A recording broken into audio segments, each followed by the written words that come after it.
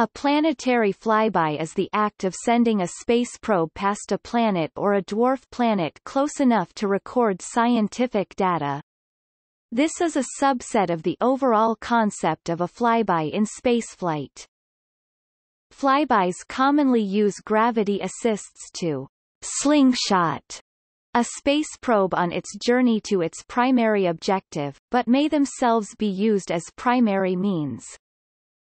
The first flyby of another planet with a functioning spacecraft took place on December 14, 1962, when Mariner 2 zoomed by the planet Venus. New Horizons performed flyby maneuvers of Jupiter, Pluto and its moons in the 21st century.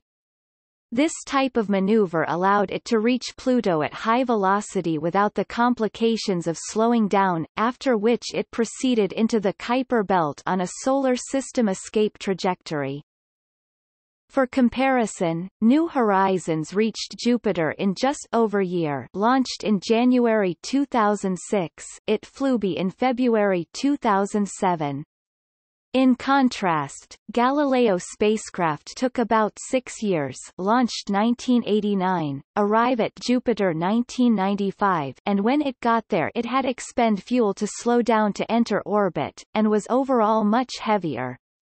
The atmospheric entry probe did not slow down but required an advanced entry shield and the atmosphere of Jupiter to slow down. See also aerobraking, they're also an even closer version of flyby, a sort of fly-in where the spacecraft actually enters and passes through a body's atmosphere, called a aerogravity assist.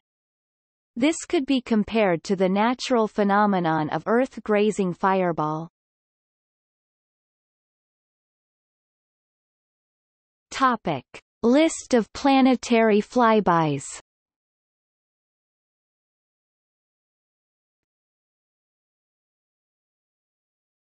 Topic Gallery.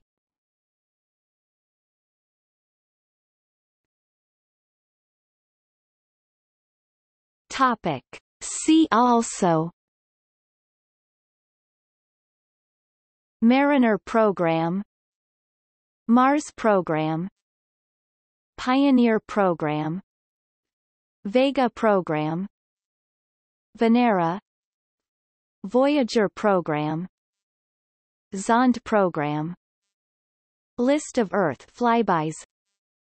Mars flyby. Timeline of the space race. Timeline of solar system exploration. Notes